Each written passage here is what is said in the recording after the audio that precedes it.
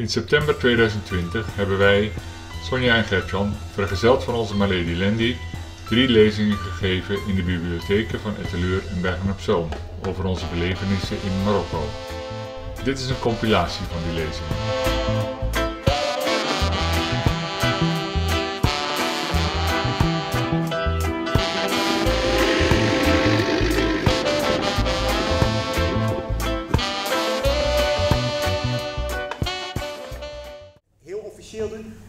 Een applaus voor deze twee wereldreizigers? Salam alaikum. Alaikum salam. Lebes? Beger. Lebes? Becher. Alhamdulillah. Alhamdulillah. Marhaba. Marhaba. Welkom iedereen.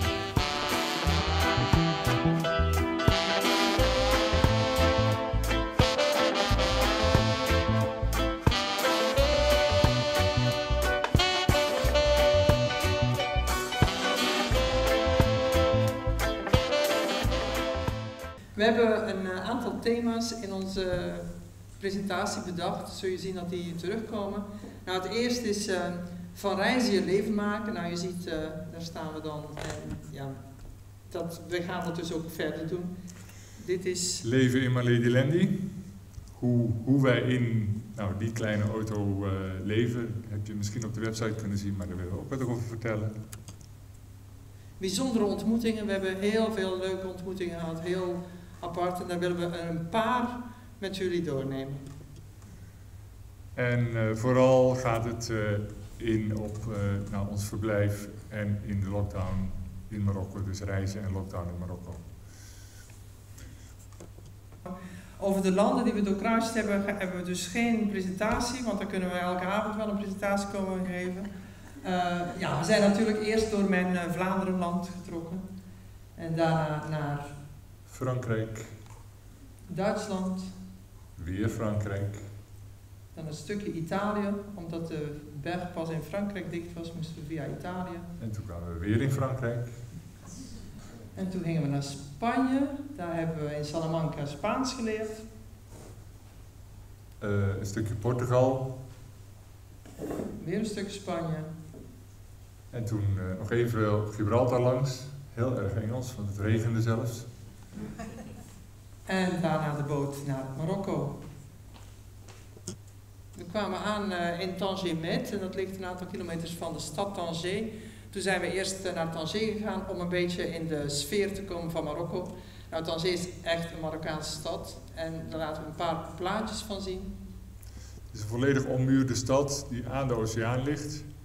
Prachtige Marokkaanse stad met ja, de, de typische gebouwen die je van de, van de plaatjes van Marokko kent. Of als je al in eh, Marrakesh geweest bent, daar lijkt het. Is een beetje Marrakesh in het klein. Ook de mensen zijn een beetje Marrakesh in het klein. En dat, ja, goed. Opdringerigheid die Marrakesh, mensen die in Marokko geweest zijn, de opdringerigheid die Marrakesh eh, ervaart, die is in Tanger ook wel eh, aanwezig. En dan gingen we verder reizen de Atlantische kust naar eh, beneden. Nou, laten we wat plaatjes zien van plekken die we onderweg gezien hebben. Dit is bijvoorbeeld bovenaan is een plaatje van eh Asila. Moulay Bousselham, een eh, mooi vissersplaatsje. Waar je de zon ziet ondergaan. Het is een, ba- een baai. Daar, daar gaan de vissers de oceaan op om te vissen. En als het eh, hoogwater is, eh, kunnen ze daar ook weer naar binnen. Als het laagwater is, dan liggen de bootjes droog. Nou, je ziet daar boven zie je onze My Lady staan. Dat is een van de plekken waar we overnacht hebben. We hebben heel veel wild gekampeerd en eh, ja, dan kun je met onze auto kun je overal komen. En vandaar dat we, ja, we hebben prachtige plekken ontdekt en eh, hebben ons altijd veilig gevoeld. Dit zetten we buiten en eh, nou, dat is het. Meer hoef je niet te doen. Een half uurtje per week poetsen en ik ben klaar. Het is het ideale. Eh, wij deden heel vaak de boodschap op de markt. Kan je veel verse groente en fruit kopen. Ja, het is ook, in Marokko is het ook heel voordelig om boodschappen te doen. Als we dan eh, groente en fruit kochten voor een dag of drie, vier en we waren drie euro kwijt, nou, dan hadden we, nou, was redelijk. En die kippen onder, die je ziet, ja, die lopen gewoon rond op de markt. Die zijn, de poten zijn aan elkaar gebonden. En als je kip lekker vindt, dan kun je gewoon een kip kopen daar en ter plekke wordt die voor jou uh, geslacht. Dus verse kan je hem niet hebben. Dit is de moskee van Casablanca. We hebben Casablanca zelf niet bezocht, maar wel de grote moskee bezocht. Het is de enige moskee in Marokko waar je als niet-moslim uh, binnen mag. Uh, ja, veel pracht en praal.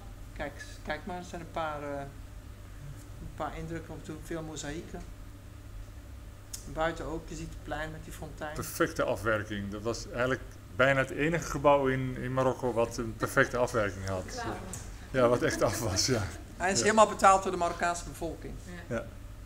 En als toetje ging nog even een wolk die uit de oceaan opkwam over de moskee heen. Dus uh, dat was wel een heel mooi plaatje. En dan rijden we verder. Je hoeft in Marokko niet dit soort weggetjes te kiezen, is wel leuk. Afstand is opnieuw berekend 153 kilometer. Tijd tot bestemming 2 uur 3 minuten Uten. Ja, GPS brengt dus overal naartoe.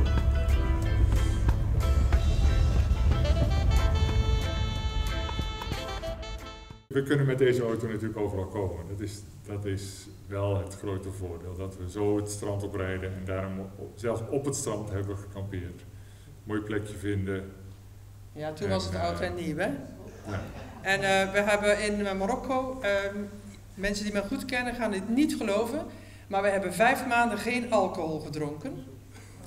En de fles champagne die jullie zien staan, die hebben we met oud en nieuw gedronken, want die hadden we in Frankrijk bij een champagneboer gekocht. En dan hadden we in elkaar gezegd van, dit mogen we onszelf wel gunnen met oud en nieuw. En traditiegetrouw, Gertjan bakt altijd oliebollen met oud en nieuw. Dus maakt niet uit waar ter wereld, de oliebollen waren weer heerlijk. En ook uh, nou ja, langs de zee vind je allerlei vissersdorpjes en dus allerlei schelpvruchten, zeevruchten. En ja, dat, daar genieten we van. Uh, word je zo aangeboden door mannetjes die dat uh, komen verkopen aan de auto. Nee, je ziet, ik zat nog in de auto en ik, ik kreeg het er alleen aangeboden. Dus ja, dat was mooi. Dit soort ezeltjes. Ezeltjes worden in Marokko heel veel nog gebruikt als lastdier. Maar dus ook aan de kust, waar, um, ja, uh, waar, waar, ze gebruikt worden bij de visvangst of mosseloogst of zo. Kijk, dat is toch heerlijk als je zo in je bed ligt en je ziet dit. En er is helemaal niemand in de buurt. Het is ook helemaal niet eng of zo, hè?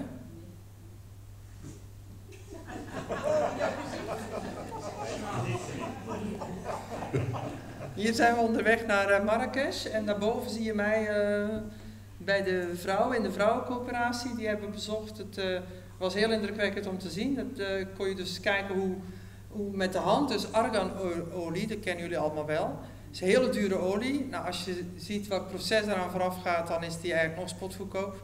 Die vrouwen die malen dus, ja, die hakken, die ja, ik heb het ook gedaan. Wat, heb, wat moest ik nou doen? Moest de noten kraken. Die noten kraken, dat is echt super moeilijk.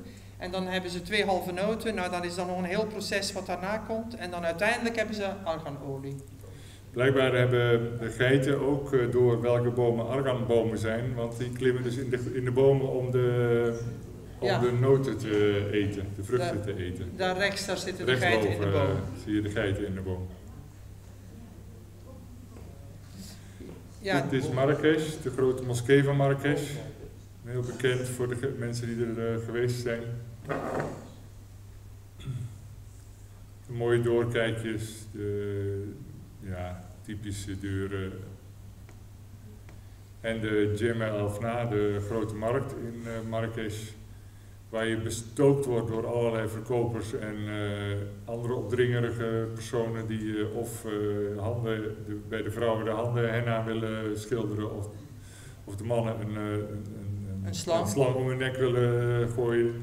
Dat hebben we deze keer kunnen vermijden, maar ja, het is goed. Dat opdringerige, daar, daar houden wij niet zo van. Maar het is wel een mooie stad, met veel kleuren en ja, mooie gebouwen. Maar we zijn er maar een dag geweest en toen zijn we verder getrokken in de Atlas. Daar stonden ondertussen de amandelbomen in bloei. Erg mooi. En ook andere mooie bloeiende bloemen. Het, is, het was winter, januari, februari, of januari, februari, hier winter, maar daar is het echt al voorjaar. Dan zie je echt al, uh, alles komt, komt uit. En er is natuurlijk heel veel, in die periode valt er heel veel regen of sneeuw. En ja, dat is echt een hele mooie periode om, om daar te reizen. Het is ook een, uh, twee plekken waar we overnacht hebben. Ja, dan sta je dus echt helemaal alleen. En dan hoor je niks en dan zie je alleen maar s'nachts superveel sterren. En de sneeuw op de bergen. En de, ja. En dan zie je Gertjan bezig met zijn blog te schrijven, want ja, dat moet altijd onderweg gebeuren. Uh, je hebt overal 4G, of bijna overal. Dus je kunt overal uh, kun je schrijven en, uh, en, publiceren. En af en toe moet hij even bes beschermd worden tegen de zon. Ja, uit de 12e eeuw komt deze, is deze moskee, maar die is al jaren niet meer in gebruik. Maar die kun je wel bezoeken. Daar komen trouwens weinig toeristen, want het wordt ook niet echt, ja, er wordt niet zoveel reclame voor gemaakt. Terwijl het is prachtig. En uh, Youssef heeft ons daar uh. Hij vertelde dat het uh, uit een oude dynastie is, die in de 12e eeuw dus ja, aan de macht was. En dat met name deze regio heel erg, heel erg rijk was. Dus die grote moskee was echt voor, in die tijd was dat een heel belangrijk object voor de mensen daar. Dit was ook een, ja, een bijzondere ontmoeting met Mohammed. In, in, ook in de Atlas, dan ben je midden in de Atlas, heb je dan ineens een klein dorpje. En daar hebben ze dan zo'n winkeltje. En dan kun je, ja je ziet hè, je kunt olie kopen en suiker en, uh, Melk en honing natuurlijk. En honing. Dus daar hebben we een hele tijd met die man en zijn kinderen hebben we gespeeld en honing gekocht. We hebben altijd een zak ballonnen bij ons en als we kinderen tegenkomen dan uh, delen we ballonnen uit. Sommige kinderen kunnen ze zelf opblazen, andere blazen we, voor anderen blazen wij ze op. Maar ja, dat is altijd een succes. Altijd spelen. Dit is in... Uh, Tagazoet. Ja, Tagazoet. Dat is het surfersparadijs in Marokko. Uh, daar op het water, uh, ja, daar zie je allemaal, uh, dat zijn geen vissen of zo, dat zijn gewoon allemaal surfers op dat water. En daar hebben we ook twee nachten geslapen bij dat strand, want het is, ja, het is ook een spektakel om al die mensen in het water te zien surfen. En, ja, om ook tussen de surfersbusjes te staan. Ja, tussen de busjes te staan. ja. Want wij passen wel tussen die busjes. Kijk, als je zo'n grote plastic camper, ja, sorry, grote witte camper hebt, pas je niet echt tussen die hippiebusjes, maar wij mochten daar wat tussen staan. en wat is dan leuker om via de kleine paadjes verder te reizen langs de kust?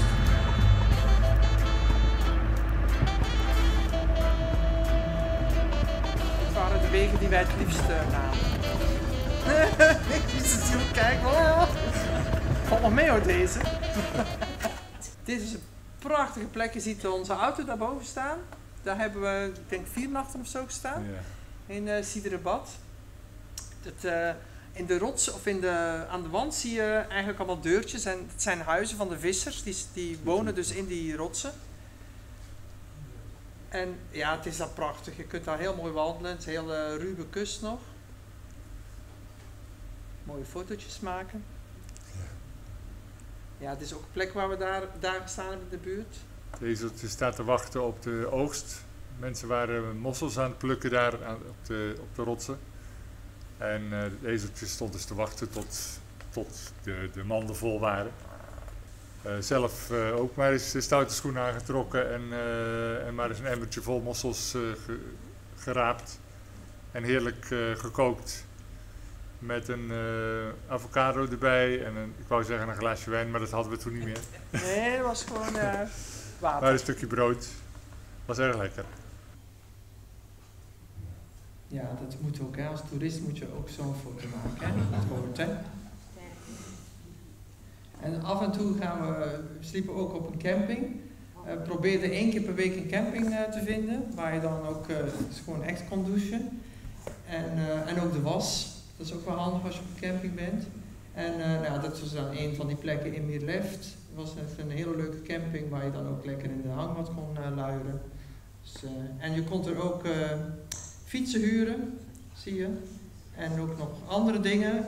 We hebben nooit kunnen ontdekken wat die andere dingen waren. Het komt blijkbaar wel.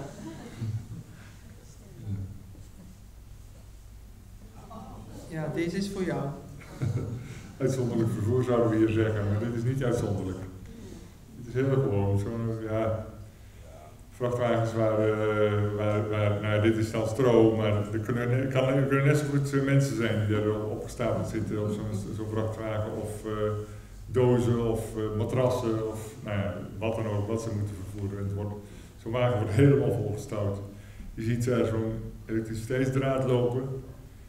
Deze, ik, heb, ik heb op dat moment niet afgevraagd, kan die er onderdoor, maar later zagen we er nog zo een en die moest echt stapvoets onder die draad door om die draad over die lading heen te laten nou, slepen. Ja, dan gingen we langzaam van de woestijn in, het binnenland in. En dan zie je dan, voor het eerst zie je dan uh, de kamelen. Hè. Ja, het zijn eigenlijk dromedaris, we noemen het maar kamelen. En dan de eerste keer dat je die kamelen ziet, dan is het uh, stoppen en foto's maken en filmen. En, en dan keer daarna ook, al die kamelen. En op een bepaald moment is het zo van, oh, kamelen. Alle kamelen uh, uh, behoren aan iemand toe. Hè. Die zijn, er zijn amper wilde kamelen. Die, ze, ze, lopen wel wild rond, maar ze zijn allemaal van iemand. Dat is heel, heel bijzonder. Dat had ik, had ik ook nooit gerealiseerd, maar het werd ons verteld. Het is een mooie oase waar je doorheen komt. Anders moet je even wat, uh, wat gas geven om dan een bultje op of een bergje af te rijden. Maar ja, dat lukt allemaal. Een mooi plaatje. En overal groeien planten. Ja. Ja, en dit was ook een prachtige plek in de buurt van Guelmin. Daar is een warm waterbron. Daar kon je ook alleen maar komen met een 4x4, want het is best wel een ruige route.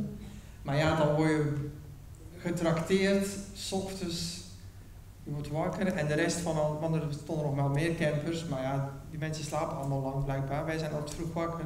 En dan ga je s ochtends vroeg in zo'n warme waterbron zitten, 38 graden. Nou, dat is natuurlijk... Uh, Gewoon lekker warm. Van genieten, hè?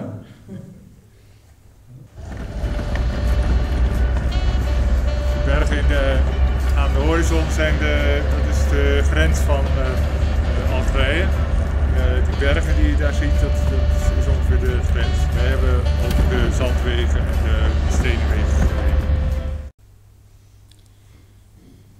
Wordt, kom je nog wat gebouwtjes tegen die al niet in gebruik zijn. En uh, als je dan s'avonds in een dorpje aankomt en uh, vraagt van uh, waar kunnen we kamperen, want er zijn niet overal kampeerplaatsen, dus je moet ze nu en dan ook, of eigenlijk hebben we eens per week zo'n beetje een kampeerplek opgezocht om de was te doen en ons even lekker te douchen, maar voor de rest probeerden we in het wild een plekje te vinden. Nou ja, dan kom je in een dorpje aan en er was een overheidsgebouw, dus we vroegen aan die, aan die mannen die daar uh, buiten zaten te werken, uh, vroegen we van, uh, kunnen we hier ergens eh, staan? Ja, aan de overkant, dat is zo'n binnenplaatsje, daar kan je naar binnen rijden en daar, daar kan je een mooie tent op zetten. Het waaide nogal, dus dat was ook heel gunstig, dat we daar ook een beetje beschut stonden. S'avonds kregen we nog wel bezoek van wat kindjes die heel nieuwsgierig kwamen kijken, maar we hebben een heerlijk rustige nacht gehad, dus prima. Onderaan links zie je rotstekeningen. Daar hebben we ook een, uh, een heleboel van gezien. Ik, had ook, uh, ja, ik, ben, uh, ik ben degene van de Lonely Planet. Hè. Lonely Planet is mijn bijbel als ik aan het reizen ben. En daar stond ook vermeld over de rotstekeningen, alleen we konden ze niet vinden. En toen hebben we iemand aangesproken en die jongen zei, ja, ik weet waar ze zijn, ik wil wat met jullie mee. En wij dachten, oh jee, daar hangt natuurlijk weer een prijskaartje aan. Want het waren wel een beetje, in die steden is dat meestal zo. Maar de jongen is met ons meegegaan. We hebben heel veel mooie foto's. Anderhalf uur met ons meegewandeld? Anderhalf uur, ja. En toen kwamen we terug en toen zei ik, ja, maar moet ik je nou betalen? Hij zei, nee, ik wil helemaal niks hebben, want uh, ik ben trots dat we dit hier hebben, dus ik wil niks. Nou. Ja. En toen hebben we daar nog overnacht ook, hè, tussen ja, de palmbomen. Ja, ja, daar. In dus, de oase, tussen de In de oase, ja. ja. Er kwamen s'avonds twee andere jonge mannen langs, die waren aan de wandel. Uh, deze twee? Deze twee, Abdel en uh, ha Hassan. Hassan, ja. ja. Uh, twee studenten die daar in, in het dorpje woonden, maar die, of tenminste hun familie woonde in het dorpje en uh, zij studeerden in Agadir en in Casablanca volgens mij. En die spraken goed Frans, deze sprak goed Frans en de andere sprak goed Engels. Dus we hebben een beetje geswitcht tussen Frans en Engels met hen. Die avond. En eh, toen zeiden ze, ja, maar morgenochtend als jullie eh, verder rijden, dan kom je langs ons dorpje, dan moet je wel even langskomen om eh, thee te drinken. Dus ja, wij, wij er naartoe. Nou ja, thee bleek niet alleen maar thee te zijn, maar we werden ook op de couscous en de karnemelk erbij. En, een hele uitgebreide, nou, uitgebreide maaltijd. Heel de familie kwam erbij. Vader ook nog, die nog in Nederland gewerkt had, Ja. anderhalf jaar, die, die kon nog Goeiedag, wil ik zeggen.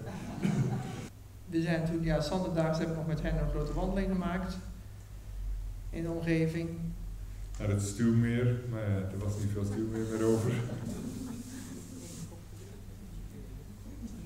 En ja, een mooie oase. Door de oase, ja. Nou, dat zie je dus, uh, ja, de verkeersborden die daar uh, tegenkomt. Gelukkig uh, zijn er al tekeningen bij, dan weet je tenminste wat het betekent. En uh, we hebben Omar opgezocht. Tenminste, we hebben via via uh, Omar uh, leren kennen. De man boven, in de, is een spiegeling in de waterput. Boven is Omar, onder ben ik en links is Sonja. Ehm, en Omar hadden we gevraagd om ons echt, echt door de woestijn mee te nemen. Ik had nog nooit in de woestijn gereden. En toen hebben we in Foomskiet hebben we afgesproken.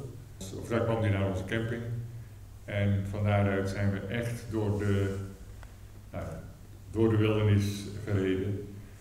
Wat mooi was aan, dat, aan het zo doen, was dat ik kon zien dat op mijn GPS heb ik gewoon van die uh, OpenStreetMaps uh, kaarten ge, gedownload. En je kunt alle paden die hij ons aanwees, kon ik zo volgen op de GPS. Dus het dat gaf mij ook zekerheid van nou ja, er is altijd een weg die ergens naartoe leidt. Ondanks het feit dat het misschien alleen maar een, een paar wielsporen zijn die je volgt, maar er is altijd een, een weg. En als je, als je hem niet ziet, dan weet je in ieder geval dat hij ergens in de buurt is. Dus dat was wel heel mooi. Ja, de vorige plaatje gingen we samen lunchen, dat doe je gewoon midden op de weg natuurlijk. En dan s'nachts hebben we bij vrienden van Omar in uh, een Bedouinentent mochten overnachten. En uh, ja, dan werden we natuurlijk verrast op een uh, mooi muziekje, hè, trommelen. Een lekkere maaltijd ook. En, en lekker eten. En die woestijn is heel dor. En soms zie je van die groene vlaktes. Dan denk je, hé, is dat gras? dan kom je dichterbij en dan blijkt het, ja, het bleek... wilde rucola. Wilde rucola te zijn. En die kun je ook eten. Ja. Die hebben we ook gegeten. Het smaakt nog iets bitterder dan de rucola die we hier kopen. Maar... Ja. En je vindt ook oude auto's in de woestijn. Er staat er ineens een verroeste oude Land Rover. En dan hoop je dat die van ons niet zo eindigt. Om maar even, even het oliepeil gecheckt. En Sonja heeft de eerste rijervaring hier weer op gedaan. Ja, dit is gewoon zo mooi. Die, die duinen, dat is onbeschrijfelijk mooi. Ja, daar krijg je niet genoeg van. Ja. Maar één klein stukje zijn we er ja. doorheen gereden.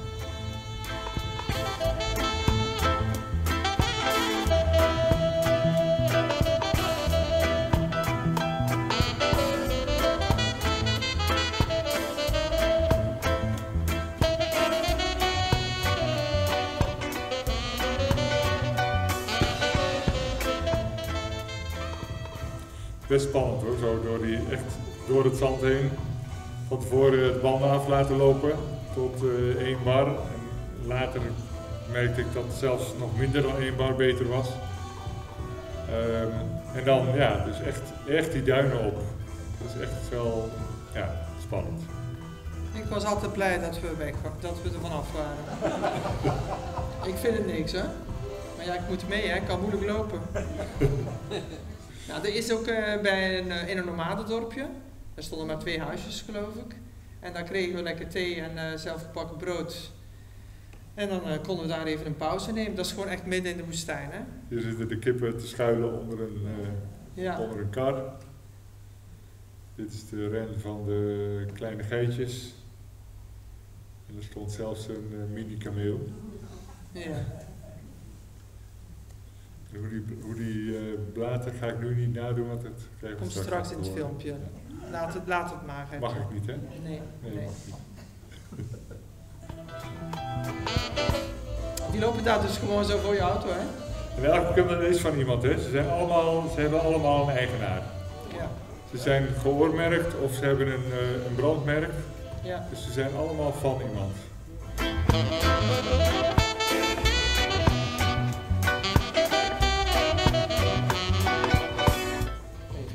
Veel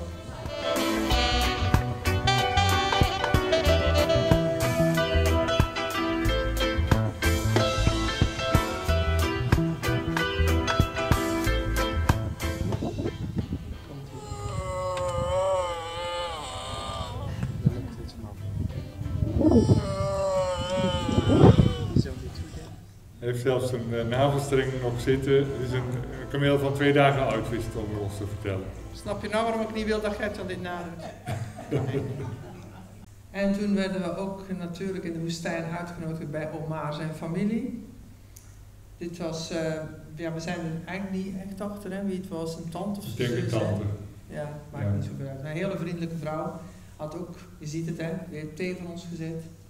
En ja, dit is dan eh, de leefruimte van, van die familie. De En familie. ja. Daarachter zie je die ronde houten platen.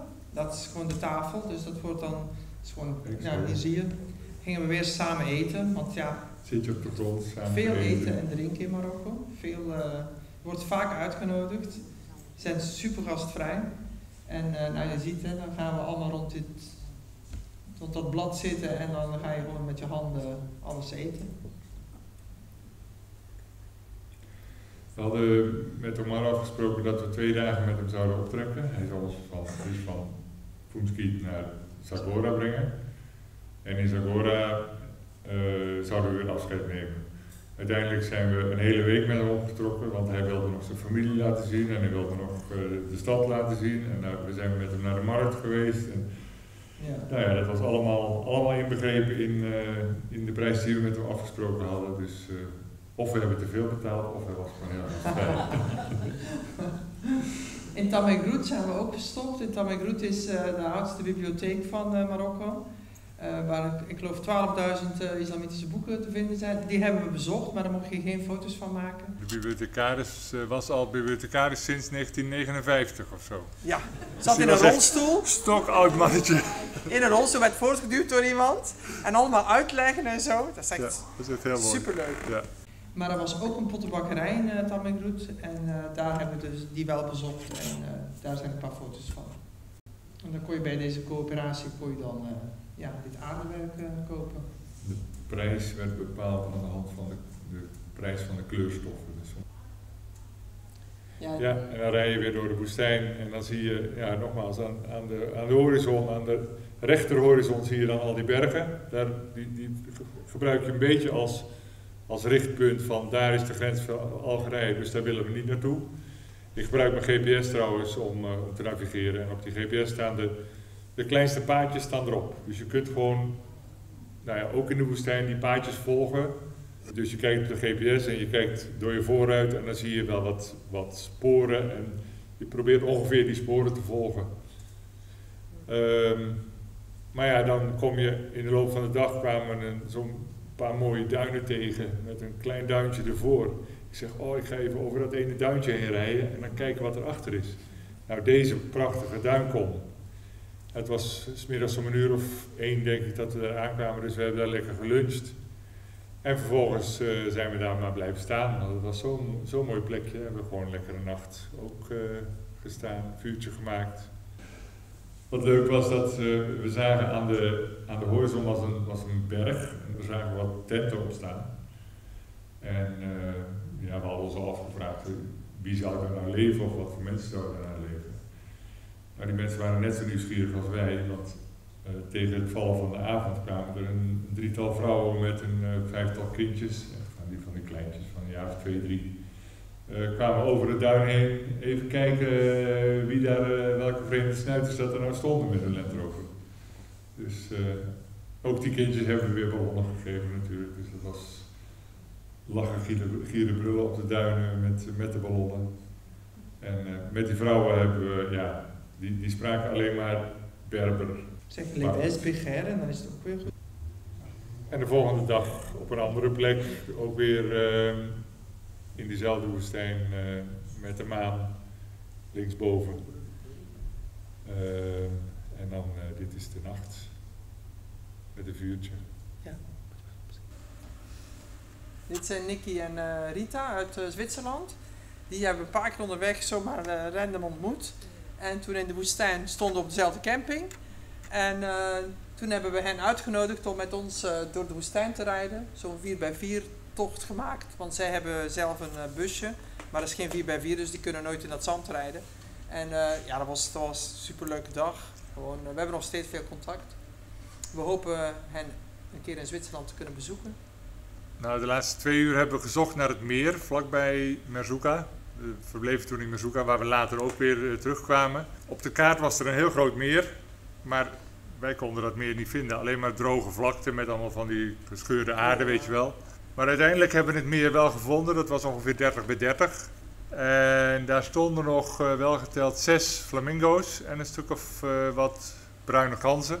Nou, wij blij dat we het meer in ieder geval gevonden hadden. Sonja heeft ook gereden, hè? In de woestijn, hè?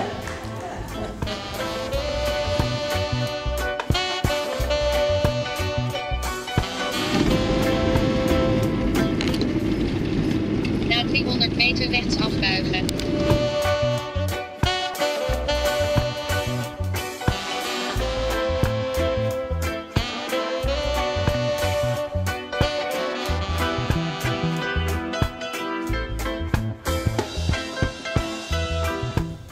Zijn soms wel spannende weggetjes.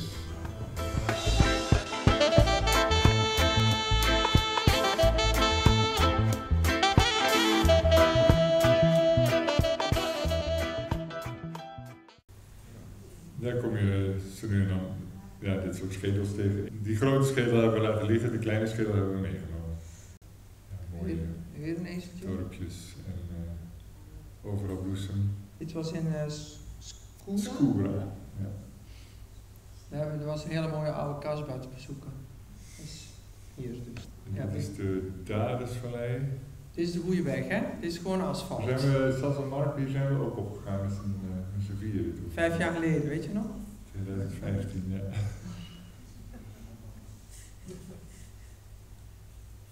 En hier hebben we ook gereden toen. Maar toen lag er geen sneeuw. Ja, dit is een hele speciale ontmoeting met uh, ja, alweer Mohammed. Uh, en zijn nichtje, die naam heb ik nooit geweten. Maar die, kwam ons, die kwam ons tegemoet. Hè. Toen waren we in de Cirque Safari aan het rijden. Dat is een hele, best wel een pittige piste om te rijden. En we vroegen ons af van waar gaan we nou vannacht slapen? En toen, ja, je gelooft niet, dan ineens plopte er een Marokkaanse man en die kwam naar ons toe en die zei, Maison, maison. Oké, ja, dan ga je maar naar zijn huis, denken wij dan. Hij sprak een paar woorden Frans. En daar hebben we dus inderdaad uh, overnacht. En uh, ja, hij nodigde ons ook uit om thee te drinken. Want toen wij aankwamen, kwam zijn moeder eraan met, op het ezeltje met de boodschappen. En uh, nou, toen konden wij, uh, konden wij dan naar binnen, werden we uitgenodigd voor de thee. En zo meteen kun je het huisje zien. Of, nou, je ziet al gelijk de binnenkant trouwens. Uh, nou ja, zo, zo leven ze daar. Dus het is echt heel, heel primitief. In het midden van de ruimte stond een potkacheltje. Daar werd op gekookt. Met, een, met, met weliswaar een, een, een, pijp naar boven, dus de rook ging al, uh, de meeste rook ging, uh, ging eruit. En ze hebben gewoon zo één grote schaal en daar wordt alles op klaargemaakt. De eieren worden erop gebakken, de couscous wordt erop klaargemaakt. Nou ja, het, is, het is echt onvoorstelbaar. En de gastvrijheid is enorm. We werden uitgenodigd voor de thee en vervolgens moesten we mee eten s'avonds. En uh, toen bleven we slapen en s ochtends waren wij al bijna klaar, bijna klaar om onze ontbijt te maken. Toen werden we alweer naar binnen gevraagd en uh, moesten we ook weer mee ontbijten. Nou ja, dan, ja, wat, wat, geef je, wat geef je zulke mensen dan? Je kunt ze ja, wat geld geven. Wij hadden deze zonnelamp uh, meegenomen, maar we hebben een heel groot zonnepaneel op onze auto. Dus ja, we hebben eigenlijk geen behoefte aan zo'n zonnelamp, want we hebben zat zonne-energie. We hebben deze lamp maar aangegeven. Konden ze de telefoon mee opladen. Iedereen heeft een telefoon trouwens. Hè? Ja. Waar je ook komt in Afrika, iedereen heeft een telefoon. Dus uh, nou, hij, was, hij was de koning te rijk. Want uh, ze hadden daar geen stroom, uh, helemaal niks. Alleen zo'n klein zonnelampje wat hij dan in de vensterbank zette. Nou, dit ding, dat gaf een, een zee aan licht. We hadden nog een bloemkool voor moeder en nog chocola voor het kind. Dit is het huisje. En ik had al heel vaak aan te- tegen gezegd van, ik ben toch zo benieuwd hoe dat eruit ziet, zo'n huisje. Ja, nou, ik heb het geweten, ik heb er drie keer in gezeten. Het is echt heel, heel primitief. Het is dan buiten de kraal waar ze de geiten hebben. Want je loopt eerst, voor je het huisje binnenkomt, moet je tussen alle kippen door. Maar ja, het is, het is bijzonder om mee te maken. De was wordt gedroogd. En toen Sandra hebben ze ons eh, door de kloof heen geleid.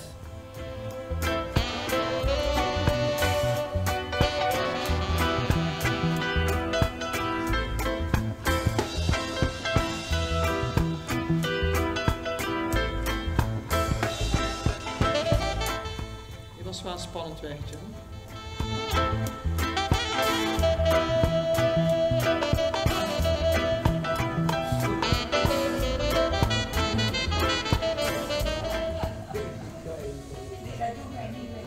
wegje.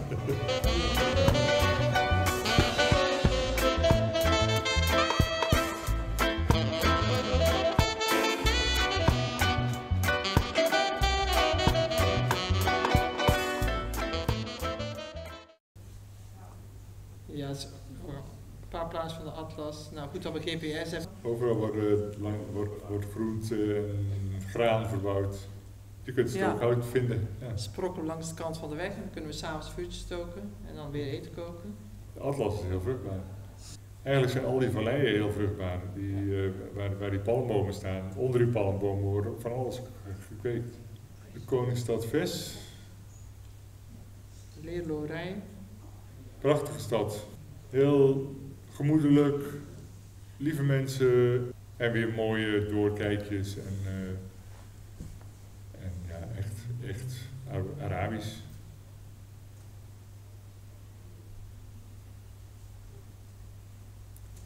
Ja, dit is de nieuwe Nobelaar van eh VES.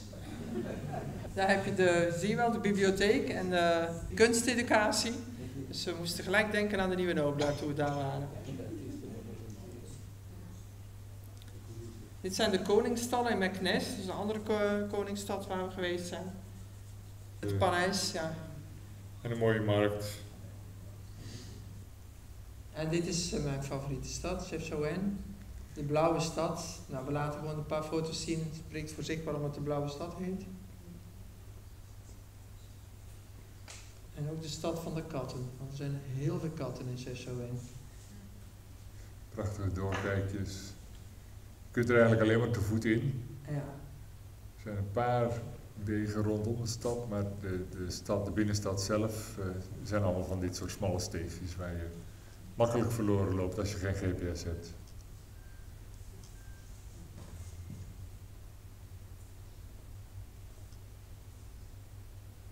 En toen vonden we weer een mooi meer om aan te kamperen. Daar beneden staan wij. En dan krijg je ochtends eh, bezoek. Komt iemand eh, water halen.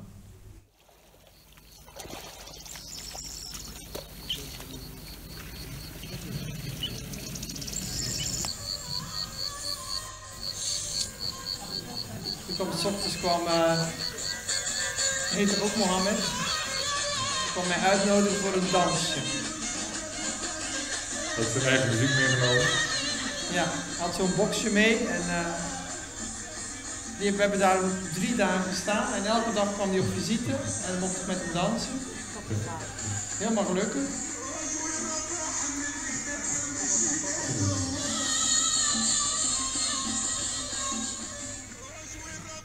Dat zijn wel bijzondere momenten die, ja, dat vergeet natuurlijk Eigenlijk waren we toen weer op weg naar Europa. Dit was begin maart.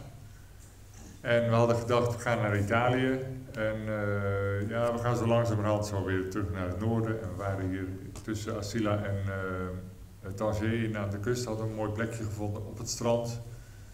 Hebben een nachtje geslapen. En de volgende ochtend eh, gingen we wandelen. En zagen we wat mensen hier aan de, aan de horizon met een ezeltje. En we raakten aan de praat met... eh, Hamid. eh, Hamid en zijn zoon Nadir. En uh, hij zei van, uh, ja, als jullie straks uitgewandeld zijn, dan zijn we nog wel even bezig, want we moeten die netten nog uit elkaar halen en zo. Maar uh, kom dan... op de thee. Kom dan maar op de thee. Dus nou, wij hebben onze wandeling afgemaakt en we zijn weer teruggekomen. En toen zijn we met hem meegegaan naar hun huis. En vervolgens kennis gemaakt met Fatima en Isa. Ze zijn dan ontvangen alsof we de beste familie waren, alsof we ze al, al ja, ons leven lang kenden. Zulke lieve mensen, ook voor elkaar. Dat, ja, dat viel ons heel erg op dat, ze, dat het een heel, heel lief huwelijk was. Dat was, dat was echt heel mooi. De eerste dag werden we ontvangen, toen bleven we slapen. Er was een klein steegje naast, naast hun huis waar onze auto kon staan en er kon nog net iemand langslopen zo. Dus uh, daar hebben wij onze auto neergezet, dan konden we onze tent opklappen, dus dan konden we in de auto slapen. De volgende dag werd er ontbijt voor ons gemaakt en uh, ja, dan moesten we ook wel middags komen eten. En ik, met, toen ben ik met, uh, met die mannen ben ik, de, de, netten gaan inhalen en zo. de dag erop moesten we naar de markt, want er was het eten op, dus toen moesten we naar de markt, moesten naar Asila. Nou ja, dan, toen zijn we met z'n allen in de auto gegaan en naar Asila gegaan moest er kip gekocht worden. Nou, dat was een hele belevenis, want bij de kippenboer, waar het, of bij de poelier, waar de kip gesneden was en zo, dan was de kip veel te duur. Dan was die 2 euro voor een kip. Nee, dat was veel te duur. Dus we moesten de zoek in en in een uh, achteraf hoekje van de, van de zoek uh, zat zo'n heel rek met, met allemaal kippen erin. En er werd een kip uitgeplukt. Wil je deze? Ja, is goed. Kop eraf, pluimen eraf en die kregen we mee. Maar die was, ja, dat was maar 1 euro 12 dirham. ja. Nou, we, we, hebben daar echt een super tijd gehad. We hebben daar ook drie of vier dagen gelogeerd en we zijn met hen inderdaad een boodschap te doen. Dit is het hele gezin. En uh, we zijn ook met hen uh, naar de Haman geweest, dat is ons uitgenodigd. Het was ook een hele belevenis om als uh, Europese vrouw tussen allemaal Marokkaanse vrouwen in de Haman te zitten, waar je dus helemaal niks van verstaat. En hij was met Hamid en Hamid. Hij is heel erg gemasseerd geweest en zo. Ja. Hamid met zijn grote vissershanden heeft mij helemaal, ja. helemaal gemasseerd. Heerlijk. Ja, en toen begon de lockdown. Toen was het al duidelijk dat uh, we niet meer het land uit konden. Dus toen zeiden we, we moeten een goede plek vinden om voorlopig een paar weken te staan. Niet weten dat dat er drie maanden zou worden. En het begon dus met een hevig onweer.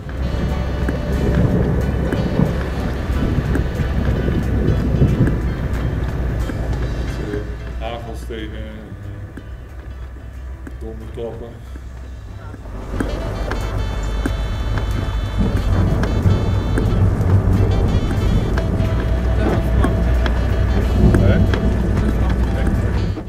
Bergen die naar beneden komen.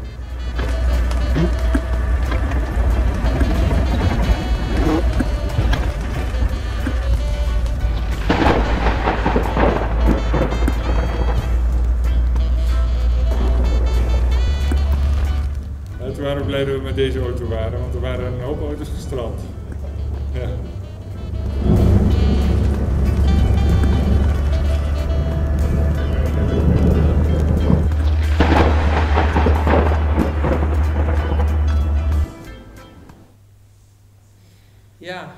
Toen kwamen we in uh, Hebben la Chance op de camping in de buurt van Merzouga in Hasselabit. Want dat was een plek waar we al eerder geweest waren. Toen we ook met die Zwitsers uh, in de woestijn gereden hebben. Die campingen, daar hadden we al gestaan en we wisten dat het een mooie plek was. Goede camping met uh, goede douches, goede wc's, een zwembad. Ja, hoe luxe kun je het hebben? Een prachtige achtertuin. Ja. En hartstikke rustig. De eerste keer dat we er waren liepen er allemaal kamelenstoeten en, en van die kwatsen die duinen. Maar was uh, nu was het uh, stil. We mochten van de camping wel, uh, we mochten wel af van de camping. We mochten niet met de auto rijden, maar wel uh, lopend of met de fiets. En onze Nieuw-Zeelandse buren, die hadden fietsen mee, dus we mochten de fietsen lenen. En uh, nou, zo hebben we ons drie maanden vermaakt in, hier in de, die grote zandbak. Hè. Nou, twee keer per week kwam de groenteboer langs op de camping met verse groenten en fruit. Natuurlijk de lokale groenten en fruit. Hè. Je moet niet verwachten dat je daar witlof of zo kunt kopen. En uh, we hebben dus wel heel veel aubergine en courgette gegeten. Maar heel lekker, ja. Drie maanden lang is toch lang hoor. Dit was de huispad van de camping. Die kwam elke dag even. Ja, die, die was gewoon, dit, deze vogel die kwam heel vaak bij ons bij de auto. Een Even bijeneter. bijeneter. En deze kamelenspin die heb ik ontdekt. S ochtends vroeg in de Hoe douche. groot was die schat? Zo groot was die. En ik stond al helemaal klaar om te douchen. En ik wilde kranen doen en ik kijk even naar boven. En toen zag ik die zitten. En toen dacht van, oké, ga maar weer weg. En dit soort kevertjes kom je dan vaak tegen. Ja, je, gaat, je moet wat doen hè, als, je, als je in lockdown zit. Dan ga je zelfs dit soort kevertjes filmen.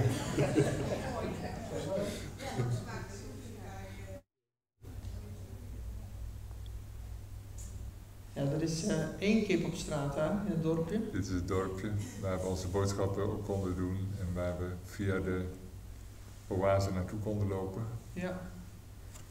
Het eh, winkeltje waar we de boodschappen konden doen.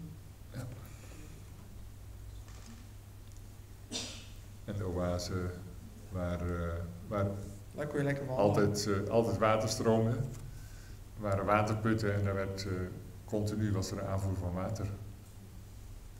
Naar de landjes die onder die palmbomen eh, ook, eh, ook aangelegd waren. Werkloze kamelen. Want normaal gezien zijn er veel toeristen. En gaan de kamelen met hen de woestijn in. Maar ja, nu hadden ze ook niks te doen. En het is niet altijd zonnig. Het is ook wel eens bewolkt en dan valt er nog wel eens een spatje, regen uit. Of eh, ja, de onderste foto, een flinke zandstorm. Waarbij je het liefste binnen zit.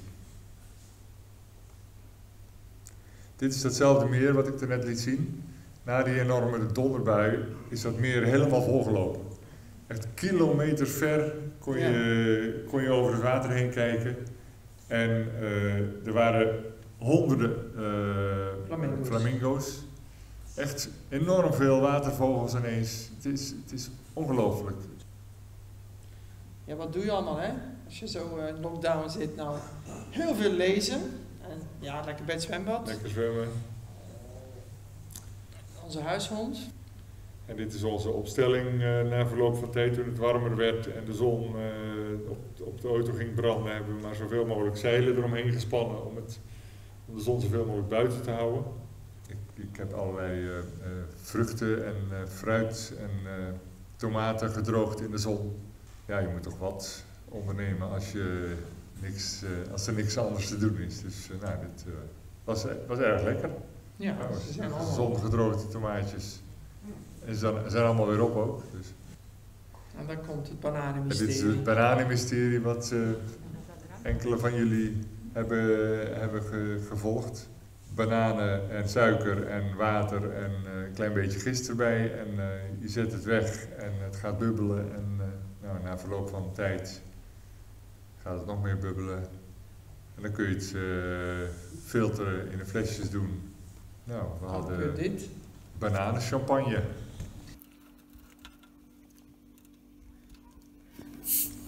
Dat is maar een klein beetje. Een klein beetje. Hadden we een proeverij met onze Nieuw-Zeelandse buren. Zo, was dit mijn verjaardag? Ja, dat was op jouw verjaardag. Ja. 9 juni. Dit zijn Chris en Melissa, dat zijn eh, ook reizigers uit Nieuw-Zeeland. Die zijn nu bijna twee jaar aan het reizen met de camper door Europa en Marokko.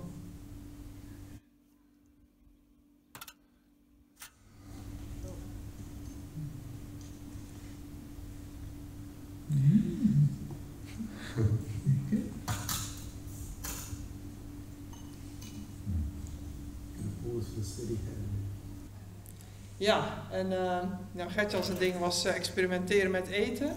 En eh, nou, ik heb tijdens de lockdown heel veel Nederlandse les gegeven. Die twee dames, links is Annie uit Amerika, uit Nashville.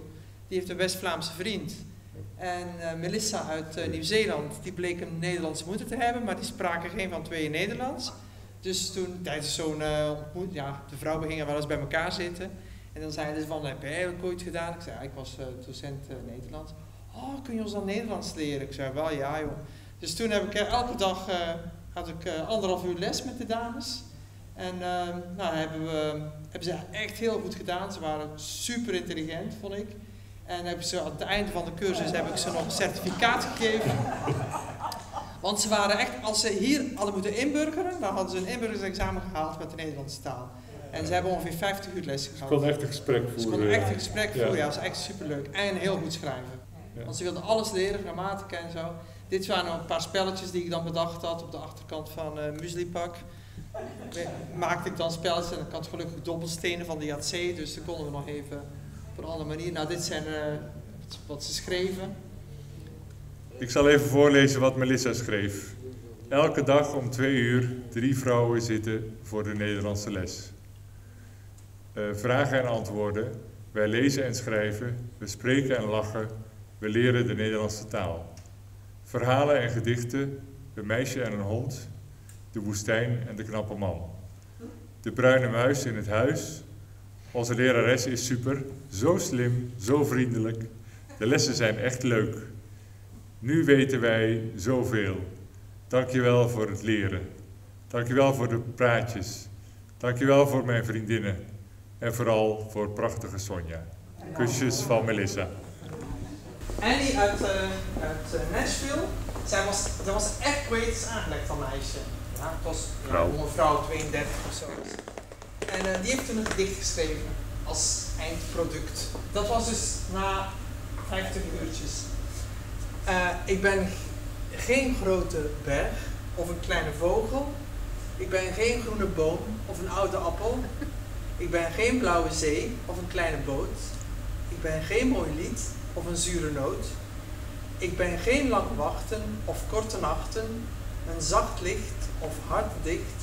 Ik ben een klein meisje en een vrije vrouw. Ik kom en ga, met de wind ben ik getrouwd. Dat waren hun afscheidsteksten voor mij. Ja, was echt superleuk. Maar ik was dus bezig natuurlijk met die dames en op een bepaald moment eh, de links, de manager Hamid, die kwam naar me toe en zei, wat ben je toch altijd aan het doen in elke middag? Ik zei, nou, ik geef Nederlandse les. Oh, zegt hij, die wil ik ook wel leren. Ik zeg, ja, oké. Dat was twee weken voor we weg, eh, weggingen. En eh, toen zei hij, ja, en Hassan en Abdel willen ook wel eh, Nederlands leren. Nou, dus toen ben ik met die mannen gaan zitten, om 11 uur s ochtends. En eh, toen bleek dus dat links Hamid heeft middelbare school gedaan. Rechts Hassan heeft een universitaire master. En ehm, Abdel was eh, analfabeet. Dus het was iets, iets andere manier van, eh, de docenten die hier zitten, die weten dat dat iets anders werkt en is dan met twee universitaire scholen. Maar toen was ik tien minuten bezig en toen zei Hamid, ja eerlijk zegt hij, willen we eigenlijk liever Duits leren, want er zijn meer Duitse toeristen. Kun je dat ook? Ik zeg, ja hoor, dat kan ik ook. Dus heb ik Duits gegeven. Het was echt heel erg leuk. Ik heb er alles heel veel geleerd over de camping, hoe ze Duitse gasten moeten ontvangen. En het restaurantje spelen hebben we gedaan. Ja, superleuk. Ja, toen konden we weer verder. Dit is, eh, 11 juni mochten we van de camping af. ja, En dan, ja, dan ga je weer terug naar Europa, rustig aan. Door allerlei landen weer. We hebben er een maand over gedaan hoor, om weer terug te komen. Dus eh, rustig aan. En dan ja, ga je over pak met je de, boot. boot. En dan ineens sta je weer in eh, Zundert. En weer in Brabant. Zo snel gaat het dan. Ja, ik heb nog één PS. Mensen die ons al wat langer volgen weten dat in Afrika onze auto het zwaar had. Ja. Eh, hier was het ook zo dat we na een week al stilstonden naast de weg. Dus eh, dat gaf ons geen goed gevoel, eerlijk gezegd. Maar goed, na een uurtje prutsen en even met Robert Jansen, de garage hier in Etteleur, bellen, kon ik het eh, euvel oplossen. Nou, toen gingen we weer vanuit Friesland eh, vrolijk op pad richting eh, Brabant weer, want we zouden nog eh, hier afscheid nemen. Toen bleek dat bij het volgooien van de tank de tank overliep, dus dat er nog ergens een, eh, iets niet goed vast zat. Dus toen moest heel de tank eronder uit, alle brandstof. Dat heb ik ook gedaan. En de volgende, het volgende was eh, olie, gewoon olieverversen in In Zuid-Spanje. Zuid-Spanje. Toen waren we alweer twee maanden onderweg. Ja. We hebben preventief eh, de dynamo een keer laten reviseren. En in Zagora, nadat we een dag of vijf hobbel bobbel door de woestijn hadden gereden, hebben we de auto maar eens even goed laten nakijken. En eh, daar bleek nou, niet heel veel aan de hand te zijn, maar wel voldoende om ons eh, twee dagen bezig te houden. Sonja vond het niet leuk. Nou, dat was het dan. Ja, dankjewel. Shukran. Dank jullie wel. Voor je aandacht. Please like this video. Blijf ons volgen en abonneer je op de nieuwsbrief op de website. Word vriend van My Lady Landy op Facebook of Instagram. En abonneer je op ons YouTube videokanaal door hieronder te klikken.